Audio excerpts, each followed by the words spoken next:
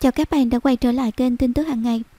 Trước khi vào video của ngày hôm nay, chúc các bạn một ngày mới thật nhiều vui tươi và hạnh phúc. Nào, chúng ta hãy cùng theo dõi video của ngày hôm nay nhé. Cháu ruột nghệ sĩ ưu tú Vũ Linh và chuyện hàng gắn lại gia đình sau những mâu thuẫn. Nghệ sĩ ưu tú Vũ Linh thương yêu hết mực cô em ruột Chuân Chiên và người cháu gái thì thòi. Ông luôn âm thầm hỗ trợ đùm bọc cho em gái Hồng Nhung và cháu gái ca sĩ Hồng Phượng trong cuộc sống. Hồng Phượng sinh ra trong một gia đình có truyền thống cải lương. Cậu của Phượng là nghệ sĩ ưu tú Vũ Linh, một trong những tên tuổi nổi tiếng nhất của cải lương thập niên 1990. Mẹ là nghệ sĩ Hồng Nhung, cha là nghệ sĩ Quang Minh và cậu út là nghệ sĩ Tiểu Linh. Tuy nhiên Hồng Phượng lại chọn cho mình con đường trở thành một ca sĩ hát nhạc âm hưởng dân ca. Phượng cũng xuất hiện với vai trò diễn viên trong các bộ phim truyền hình và tập. Cuộc đời trung chiên của mẹ, nghệ sĩ Hồng Nhung nhiều người trong giới cải lương kể lại, tuy chị hát ở đoàn tỉnh như nghệ sĩ Hồng Nhung có một giọng ca ngọt như mí lùi, cùng một nhan sắc lộng lẫy. Tiếng lành về Hồng Nhung vang xa đến mức các cô đào thành phố lúc bấy giờ cũng tìm đến nơi Hồng Nhung diễn để xem thử lời đồn như thế nào. Tuy sở hữu cả tài năng và nhan sắc, nhưng cuộc đời của bà là gái chung chiên và thiệt thòi. Nghệ sĩ ưu tú Vũ Linh là kép chính lần lại nhất của cải lương khi ấy. Chưa từng có một kép đẹp nào có khả năng lăn xây Cùng lúc nhiều cô đào cải lương như ông, từ Tài Linh, Thanh Thanh Tâm, Ngọc Huyền, Phượng Mai, Thoại Mỹ đều thành công nhờ vào đóng cặp với ông. Tuy nhiên Vũ Linh lại không thể lăn xây được em gái của mình. Ông từng mang cô về các đoàn hát Sài Gòn để nâng đỡ, nhưng không thể lăn xây em mình được vì khán giả cải lương rất khắc khe. Họ không muốn người thân, anh em cùng trong một gia đình lại đóng cặp diễn cảnh mùi mẫn với nhau. Vậy nên Hồng Nhung dù tài sắc đủ cả nhưng phải cam phận đóng những vai phụ Đào Nhi không chỉ với sự nghiệp, trong cuộc sống riêng Hồng Nhung cũng không gặp may mắn. Bà làm đám cưới với nghệ sĩ Quang Minh khi hát chung đoàn tỉnh. Tuy nhiên khi lấy nhau một ít lâu thì Hồng Nhung mới biết được rằng trước đó chồng bà đã có gia đình, tuy là không hôn thú và có con riêng. Khi Hồng Phượng được 2 tuổi, cũng là lúc Hồng Nhung quyết định chia tay chồng. Về phần Vũ Linh, dù phản đối cuộc hôn nhân này từ đầu, nhưng vì thương em gái mà ông đành để em theo chồng. Khi cuộc hôn nhân đổ vỡ, thì chính Vũ Linh đã cưu mang đưa em gái về để chăm lo cho Hồng Nhung và Hồng Phượng. Thậm chí ông cũng không cho nghệ sĩ Quang Minh chu cấp cho hai mẹ con mà. Với nghĩa vụ một người anh lớn, Vũ Linh cảm thấy mình có trách nhiệm lo toàn bộ cho cháu và em.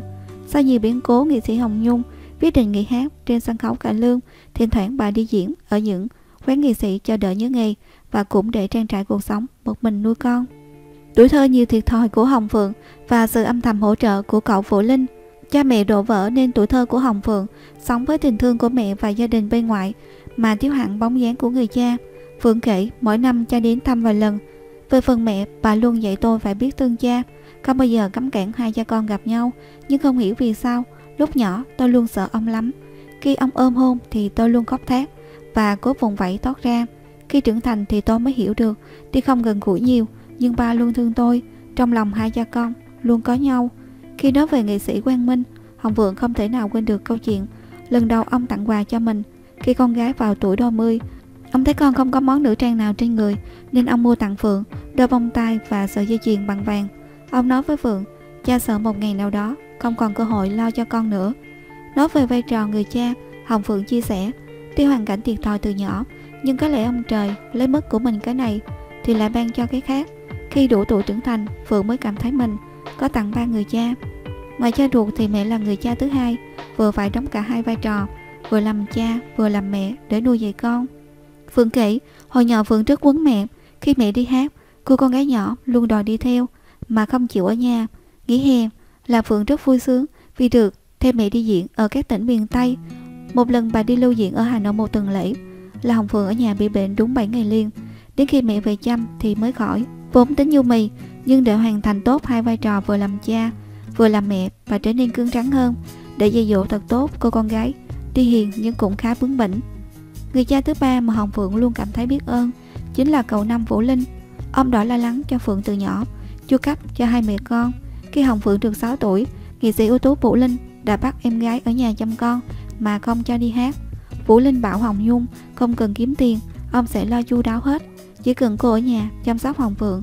Có một thời gian dài hồng phượng sống ở với cậu năm. Ở nhà của ông, Phượng chia sẻ cậu vô cùng khó tính, nghiêm khắc cả trong nghề nghiệp và gia đình. Tuy vậy tôi biết cậu thương yêu hai mẹ con tôi nhiều lắm. Những điều cậu khó cũng chỉ vì muốn tôi trưởng thành cứng cáp khi đương đầu với cuộc sống tôi. Thân thế gia đình giúp cho tôi vững vàng trước mọi cạm bẫy.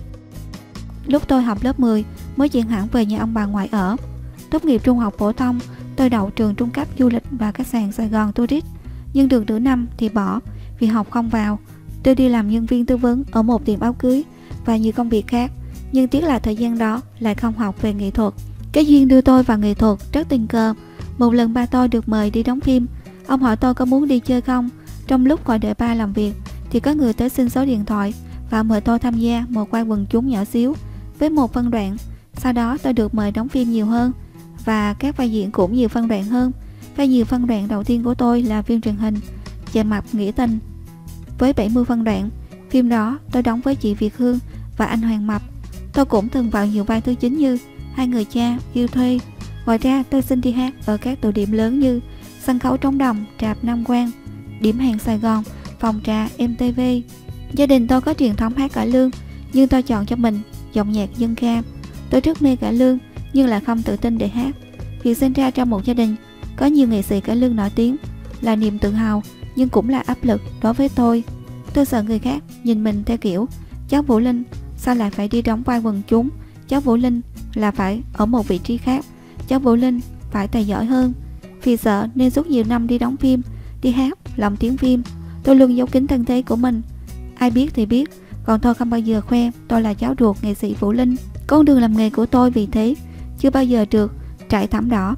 Tôi muốn tự nỗ lực đi bằng đôi chân của mình, nên tất nhiên tôi cũng gặp không ít cạm bẫy.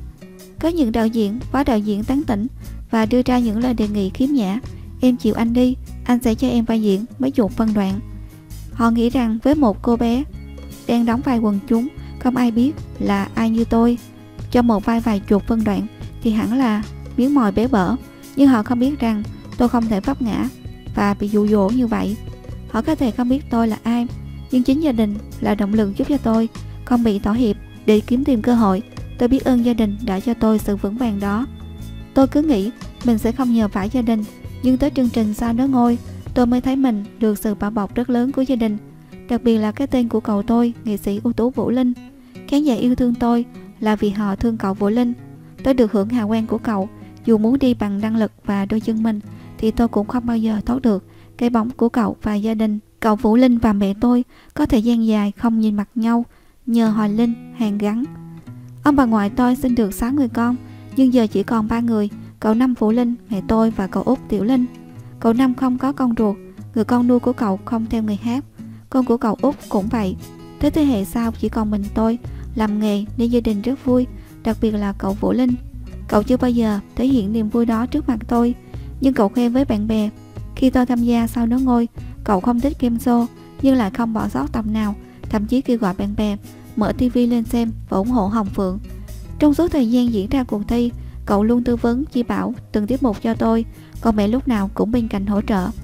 Hồi trước trong gia đình có những khúc mắc không giải hòa được, thậm chí có một thời gian dài, cậu Vũ Linh và mẹ tôi không nhìn mặt nhau, nhưng nhờ chương trình sao nó ngôi mà bây giờ mẹ và cậu đã nói chuyện trở lại.